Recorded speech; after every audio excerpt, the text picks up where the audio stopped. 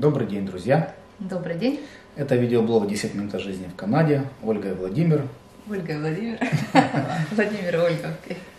Мы продолжаем наш сериал «10 шагов на пути в Канаду». И сегодня у нас, Летят, да? сегодня у нас третья серия, которая называется «Как выбрать колледж и какие популярные профессии в Канаде». Вот, если вы не видели первые две серии, мы рекомендуем начать с первой. Выключайте это, да, Да, не смотрите, не смотрите эту серию, начните с первой. Они, в принципе, между собой взаимосвязаны, они идут как бы в логической последовательности. Да, и дают вам какой-то по- порядок да, действий для того, чтобы уже приступить к эмиграции. Да, поэтому желательно начать все-таки сначала с вашей мотивации, с вашего плана действий. И самое главное, с изучения английского и сдачи экзамена Да. То есть проверить ваш уровень языка и дальше же. А следующий шаг, когда вы понимаете, что уровень уже языка у вас а, достаточный, уже идет выбор колледжа. Вот, хотя, в принципе, выбор колледжа и выбор и сдача экзамена по английскому, они, в принципе, могут идти параллельно, эти процессы, поскольку у разных колледжей разные требования к Ну, английскому. практически у всех одинаковые, но, Да. в общем-то, без шага номер два, э, шаг номер три завершить не удастся. То есть поступить и там уже подаваться на программу. Вот, Вот, поэтому рассказываем о колледжах в Канаде. да. А, Итак, э, что из себя представляют вообще канадские колледжи и университеты и, и вообще? Канадс- канадское образование, которое как бы, пос- после школьного, оно считается одной из самых лучших вообще образований в мире. Вот, канадские университеты входят в топ университетов мировых. Если- Ну, на самом деле, канадский первый университет, который, по-моему, 23 или 24, он это Торонто University.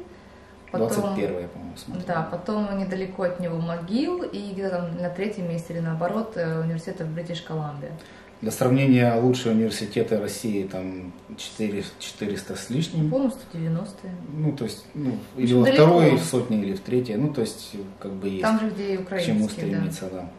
Вот. Соответственно, колледжи тоже не, не пасут задних, они, в принципе, тоже считаются нормальными. Ну, база в колледжах тоже хорошая. Если вы изучаете какие-то IT-специальности, то там у вас будут достаточно сильные компьютеры, например, то же самое Apple. Вот, то есть, э, в общем-то, база тоже и учителя достаточно крепкие.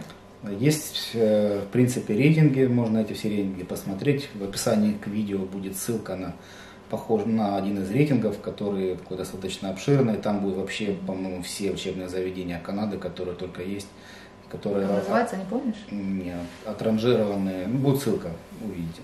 Да. Они отранжированы именно по рейтинге в мировом, в внутриканадском там, и так далее. Там интересный Мгм. такой сайт. Вот. И э, если вы едете учиться э, в каком-то таком молодом возрасте, когда вам, допустим, там после школы вы, или Ну да, после школы и у вас еще история. нет э, бакалавра, то учиться в Канаде вам вылетит, в принципе, в копеечку, потому что трехлетнее было образование 3-4 года закончить для Да. получения бакалавра. и, балак- и программы бакалавриата в университетах, э, ну, бывают и в колледжах, они достаточно дорогие сами по себе, там порядка 20 тысяч долларов для иностранных студентов. То ну есть, да, то э, зависит от программы, от колледжа, еще от длины, от сроков, от всех сопутствующих вещей. Но мы, наверное, больше в нашем видео сконцентрируемся на постградуэйт образовании. А которое, когда у вас уже есть да, э, бакалавр корочка, там, диплом бакалавра как минимум, Да. можно диплом магистра, Ну, как минимум бакалавр это требование, да, у всех практически колледжей для постградуэйт программы. Да, это именно тот возраст, который, ну, когда у вас уже есть это образование, и желательно, чтобы прежде чем ехать в Канаду, вы уже поработали у себя на родине, хотя бы пару лет, э, для того, чтобы потом, когда вы будете подаваться на экспресс-центре, вы показали свой опыт. Да, Вот, это достаточно важно. Это даст вам дополнительные баллы, то есть даст какие-то преимущества. Хотя, если вы в таком возрасте, когда вы еще не наработали опыт, значит, вы достаточно молоды, то, в принципе, баллов там тоже будет больше. Да, за возраст, За э, возраст. ба- баллы, в принципе, компенсируют. Ну, в общем, если э, говорить о том, как найти и какую профессию выбрать, это, конечно, вот здесь вот такой вот большой-большой перекресток, на котором вы можете выбрать то, что вам а, интересно, то, что вы хотели, может быть, всегда изучать, не изучали, или, может быть, то, что вы хотите там э, изучить глубже и чем вы занимаетесь. Но опять-таки это должно как-то э, логично э, ложиться с вашим мотивационным письмом, с вашей историей, почему вы все-таки выбираете эту программу.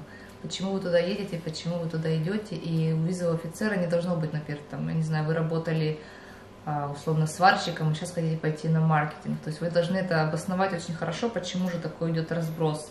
Да, то есть в идеале, идеальная история, когда у вас есть какое-то образование, полученное на родине, и вы в Канаде его улучшаете. Да. То есть, э, Или образование у вас, например, было одно, но работали вы, в своей сфере деятельности была другая, вот как у нас, в принципе там у меня конкретно, и вы хотите вот в этой сфере продолжить развиваться. Да, речь идет о логичности да. именно подачи документов.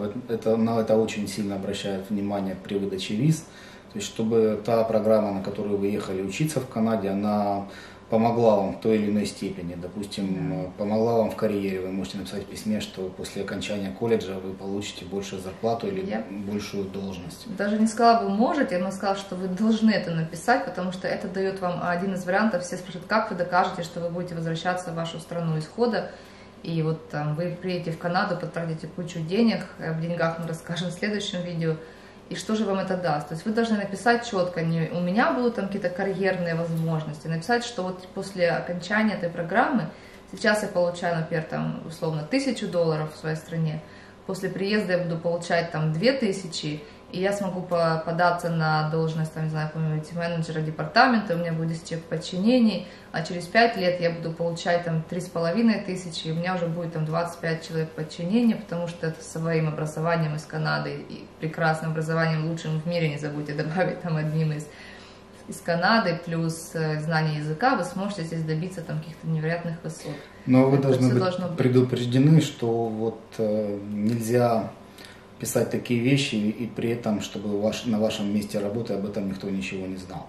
Поскольку когда получают визы, визовые офицеры, они очень любят звонить по месту вашей работы и уточнять, и уточнять да. у HR, насколько то, что вы написали, соответствует действительности. Но они не будут уточнять, наверное, по пунктам, там, до словесно, есть, знаете, что он собирается в Канаду, вы там будете ждать его, не будете, то есть, по крайней мере, пару человек у вас в организации, вот в HR-отделе, там, э, должны быть об этом осведомлены. Или же, если вы работаете на себя, вы должны написать там практически вот такой э, легкий бизнес-план о том, как же вы собираетесь улучшить ваш бизнес по приезду, по возвращению на родину. То есть, да, и мне кажется, это очень важно. Не, не спешите увольняться с текущего места работы, вот, как бы сжигать мосты, уходить, там, хлопнуть дверью и так далее. Да поскольку ну, вас все равно будут проверять. Это очень важно, чтобы у вас mm-hmm. были хорошие отношения, и за вас могли люди как бы поручиться, поручиться да. что вы вот есть, вы такой хороший специалист, а после канадского колледжа вы будете вообще незаменимы в компании. Ну и плюс потом вам придется брать справку о подтверждении вашего опыта, поэтому тоже не сжигайте мосты. В общем, э, выбор программы, конечно же, зависит от того, что вы хотите делать, но если уже смотреть на какие-то такие вещи, что же здесь востребовано, то а, если есть возможность, наверное, я бы шла а, вот в IT. Да, любая профессия связана с IT, она сейчас в, в Торонто, в частности, да. если говорить, то количество вакансий в IT-сфере в Торонто сейчас превышает количество вакансий в IT-сфере в Сан-Франциско, в Силиконовой долине. Тестировщики, да, IT а, именно как бы application developer, э, потом э, кто там еще у нас в IT есть? Так кто угодно, любая профессия, которая в IT... Ну, там, наверное, может быть не системный администратор, конечно. Да, да даже системный администратор. Ну, то есть при наличии сертификатов дополнительных они всегда востребованы. То есть э, любая профессия в IT, она здесь приветствуется. Окей, okay, хорошо. Если мы говорим про людей, про людей таких, как, например, которые да. не вот как я, они далеки от IT, то что бы мы советовали, это... Что, нет, давай скажем так, что бы мы не советовали, наверное. Ну, и, и то, и то. Значит, еще обратите внимание на сферу как project management вот, которая, вот, в принципе, вот живой пример сидит перед вами. Ну, я бы, наверное, даже сказать, я бы обращала внимание на сферу project менеджмента, если есть особенно возможность пойти на программу либо IT project manager, специализированный IT project manager, там даже не так нужны знания по IT, то есть, как бы, я думаю, там будет бэкграунд. Либо я бы шла на construction or engineering project manager.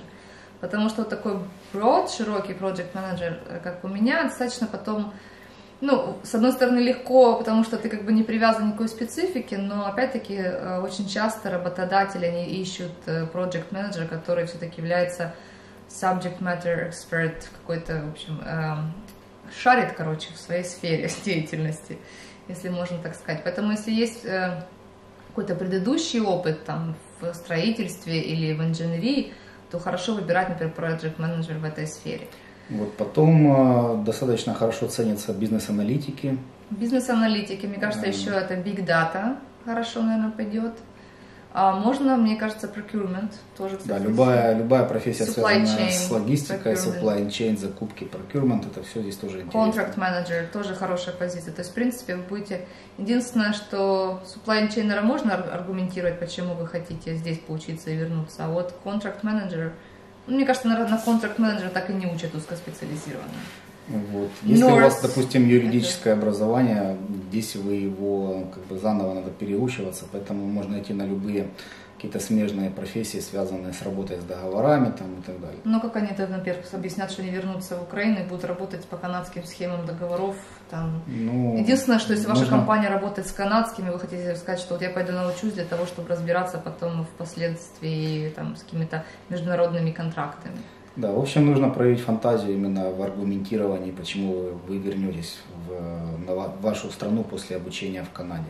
Есть вообще такой парадокс, а, когда вы подаетесь на учебную визу, то вам нужно обосновать, вот, что это подразумевается о том, что вы едете в страну временно, угу. то, что вы вернетесь туда, а, вернее, из Канады обратно в свою страну. И якоря, которые вас держат, они как бы должны быть явно видны. То есть это может быть там недвижимость, там родственники престарелые, дети, которые остаются. Ну, то есть ну, много вариантов на самом деле. Ну, плюс работа. И да, плюс работа, которая у вас будет после того, как вы вернетесь, плюс история путешествий, которую вы покажете, что вы везде ездили и всегда возвращались. Вот, в общем, а, и вот а с другой стороны, когда вы это все дело подаете, то визовый офицер все равно знает, что вы теми или иными способами все равно попытаетесь там Скорее остаться. всего остаться. И даже да. они для этого придумали программу, которую, ну вот экспресс-центре, которая, в общем-то, вам и дает дополнительных 15 баллов за окончание колледжа. То есть такой-то трики момент. Да, поэтому вот очень важно написать, чтобы вот в, в мозгу у визового офицера сложилось, вот весы перевесили именно в ту сторону, что вы вернетесь, чем в ту сторону, что у вас все мосты сожжены, и вам некуда возвращаться, и вы по-любому вот, останетесь. Да, я тоже недавно, кстати, думала, мне кажется, что визовый офицер, когда делает свое решение, он понимает, что если даже у вас здесь не сложится, у вас будет куда вернуться, и вы здесь не останетесь бомжевать условно. То есть он должен понимать, что вы в отчаянии, через там год или два после окончания колледжа, там, отработав год, вы не будете в таком отчаянии, что вам просто некуда возвращаться. То есть они должны понимать, что у вас есть эти пути отступления. То есть мне кажется, здесь логика, наверное, такая, может быть, под этим. Да. Дальше вот. еще, Потом чтобы мы... Э, мы, наверное, не рекомендовали любые программы, связанные с маркетингом. Но именно маркетинг, который не а, маркетинг-аналист, вот именно который работает с данными, с цифрами, а именно маркетинг, который направлен на понимание потребностей культуры страны, на, на понимание рынка. Рынка, да. да здесь да. очень сложно вам будет учиться, потому что нужно очень хорошее знание языка и очень хорошее знание местной культуры, которая ну, на самом деле очень сильно отличается от, тому, от той культуры, к которой вы привыкли. Да, опять-таки, они росли на других фильмах, они росли на других сказках, стихах. То есть применение, с одной стороны, конечно, можно принести свой опыт, но очень часто нужно понимать все-таки культуру как люди потребляют, и у них другие потребности, на самом деле другие потребности, чем у нас. Поэтому, если вы сильно, конечно, это дело любите, то почему попытаться стоит, но если э, просто выбирать программу, то, наверное, ну, не факт, что надо с этого начинать. Потом я еще, наверное, сказала, что э, там бизнес-девелопмент, вот такие вот там, или интерпренер, вот программы, которые вот обо всем и ни о чем – они называются International Business. International Business. Да, это бизнес программа, которая она совмещает в себе вообще все сферы, связанные с бизнесом. Там и HR, и закупки, и project management, и, и продажи, и, и все что угодно.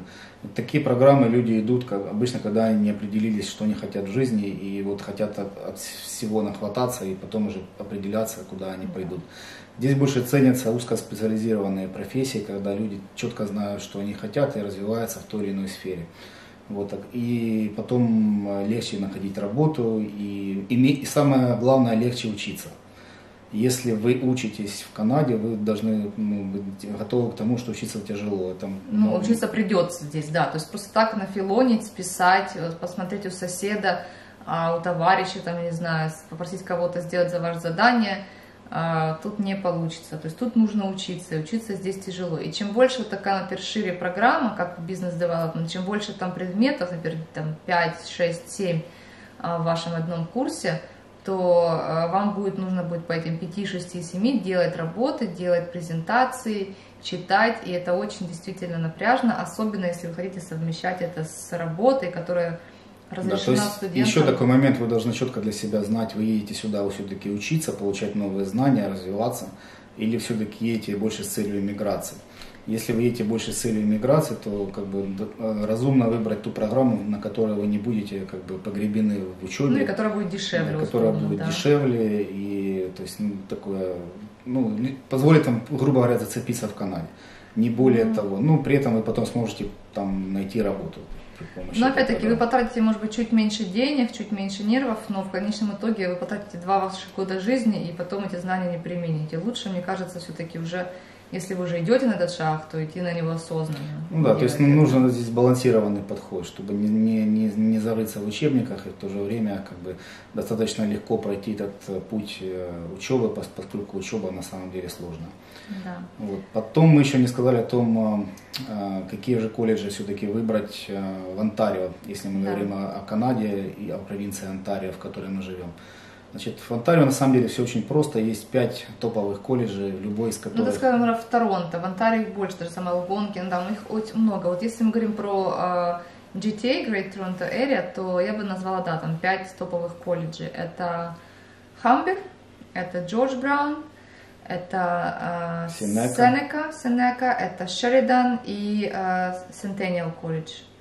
Есть еще, есть еще много, то есть это такие пять топовых, есть еще много а, там не совсем топовых, э, это то же самое там Лэмптон, э, потом еще есть... Э, Шеридан. Я это назвала Шеридан. Ну, в общем, есть? на самом деле мы разместим ссылку на список да. колледжей в Онтарио, там будут и колледжи, и программы, которые вы посмотрите, которые они дают. Эта ссылка очень удобная, да, вы выбираете э, отрасль, в которой вы хотели бы увидеть, например, бизнес или agriculture, или HR. Кстати, HR тоже неплохая очень специальность, на которую можно идти, я думаю. Но там сложно учиться. Ну, там сложно, потому что там тоже достаточно широкий спектр, но она интересная, в принципе... Еще думаю, очень что... популярная здесь тема – это social worker, это социальный работник. Да, на него, работник. в принципе, легко учиться, и это очень востребовано. Ты знаешь? Знаю. Да, ты учился? Тут нигде вообще, на самом деле, не легко учиться, особенно если вы там не любите учиться. Вот. И в этой ссылке очень будет интересно, выбирайте направление, выбирайте с, э, длительность программы, и она вам дает лист, и каждый э, такой список, и в каждой профессии, в каждом колледже есть э, меточка открыта, программа закрыта, в веб-сайт, на веб-сайте находите tuition fee, это стоимость, стоимость обучения. обучения для international и для местных студентов. Для иностранных студентов оно обычно в два раза выше, поэтому вам смотреть да, здесь туда. такое очень интересный момент. Стоимость э, обучения для иностранных студентов в среднем 15 тысяч долларов в год. Еще очень важно, чтобы колледж, в который вы поехали учиться, он был в списке одобренных колледжей, после которого дают разрешение на работу. Да, designated, то есть он должен быть э, designated и э, провинция Онтарио там, или любой другой провинции. Этот список на самом деле легко очень проверить. Мы разместим ссылку в описании в этом видео вы сможете найти ваш колледж в этом списке. В Онтарио там почти 500 учебных заведений находится в списке. Это важный момент. Э, бывают частные колледжи, в которых обучение стоит очень дешево. Люди учатся, а потом по итогу не могут получить work permit и остаться еще для того, чтобы набрать эм, опыт канадский и получить больше баллов по экспресс-центре. Да, то есть такой важный важный момент. Postgraduate work permit, который позволяет им остаться и работать здесь, будет только после окончания колледжа, который входит в список одобренных э, колледжей провинции. Да, для Проверки. того, чтобы получить work permit, вы должны э, отучиться минимум 8 месяцев на full-time программе. Да. Не заочно, а именно сидя за партой учить. Э, после 8 месяцев вам дадут год работы, год разрешения на работу.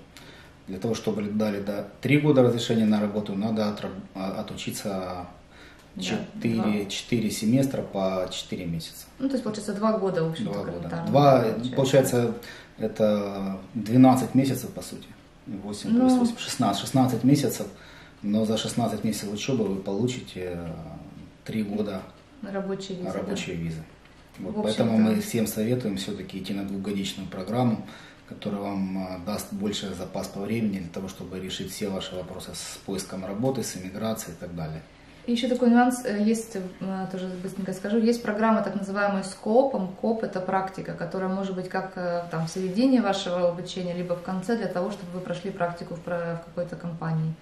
Вот. Если есть такая возможность брать программу с КОПом, мне кажется, это тоже большой очень плюс, и получите и опыт местный как часть программы, и, возможно, станете работать, и, в принципе, КОП очень часто стоит там семестр дешевле, чем там семестр обучения значительно дешевле. Ну, да, да, еще по поводу обучения, стоимости обучения. Местные товарищи, которые уже имеют пиар, платят за обучение в том же самом колледже, на той же самой программе, иногда в 3-4 раза меньше, чем иностранные студенты. Да, то есть цена для иностранцев да, Поэтому если вы едете вдвоем, один человек учится, а вы второй человек работаете, вы в итоге получили вы пиар спустя там 2-3 года, то можно поменяться, в принципе, тот человек, который не учился, может пойти опять учиться на какую-нибудь программу, которая ему хочется для того, чтобы поднять свою карьеру, и стоимость обучения уже будет значительно меньше. Да, ну вот, поэтому...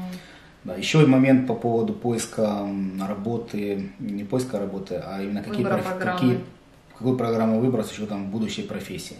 Тоже очень легко проверить. Э, заходите на местные сайты, которые предлагают работы, просто введите вакансию, которую вы получите, ну не вакансию, а именно должность, которую вы могли бы получить после окончания той или иной программы. Допустим. Сайт мы выложим, там indeed.ca, в принципе, там есть все, и даже зарплаты можно посмотреть. Если вы вводите там бизнес-аналист, вы видите, сколько выпадает э, профессий, точно так же вы можете сразу посмотреть среднюю зарплату и увидеть. То есть, если вы какую-то, какую-то видите профессию вводите и видите, что там последнее объявление было дано, там, не знаю, 10 дней назад, и их всего там 20 штук, или по какой-то провинции, то, наверное, там дела не очень хорошо в этой сфере обстоят. Лучше такую профессию не Да, надо смотреть как, э, профессии, которые популярны на самом деле.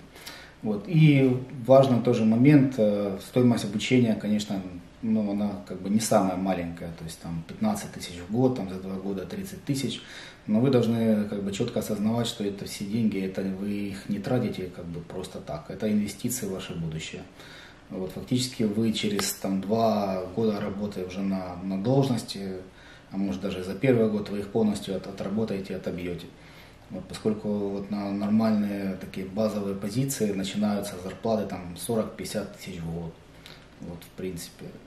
Вот и все. То есть вы свое образование в канадском колледже после нескольких лет работы спокойно компенсируете. Ну и там вам таксы еще вернутся, то есть порядка трех тысяч, наверное, вам потом еще вернутся в виде налогов вот, за это все дело там за два года обучения. Поэтому, если так кратенько все, кратко не расскажешь, э, выпуск, наверное, длиннее, может быть, но мы считаем, что советы даны важные, это действительно важный шаг в вашей жизни, какую программу выбрать, если вы уже идете в таком осознанном возрасте учиться. Да. Поэтому инвестируйте в себя, в свое будущее, и с умом инвестируйте. И, да. и все у вас получится. Да. Приезжайте в Канаду учиться. На этом наша третья серия окончена. Подписывайтесь на наш канал. Э, скоро выйдет четвертая серия, посвященная финансам сколько стоит жить, жить в Канаде, какие затраты вы понесете помимо учебы. Если вам страшно, можете пропустить следующую серию. Вот она, она выйдет э, в вторник. вторник да. Во вторник. Подписывайтесь на канал, не пропускайте следующие серии. Пока. Пока.